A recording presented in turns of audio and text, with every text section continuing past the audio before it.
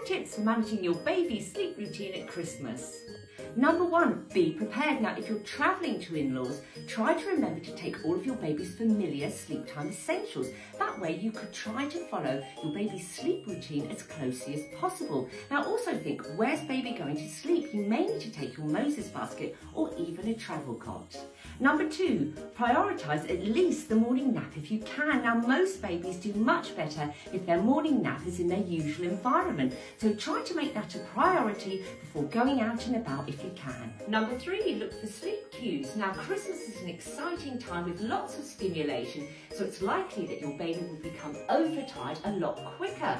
So you may even have to bring nap time or bedtime forward. Number four, plan ahead. Now, if it's likely that you're going to arrive home after baby's normal bedtime, make sure you put them in their pyjamas before you set off. That way you can transfer them into their cot with a minimum disruption. Finally, try not to stress too much. It is Christmas and it is hectic. And with all the best will in the world, you could quite easily lose your baby's sleep routine. But try not to worry too much because you can easily get back on track in the new year.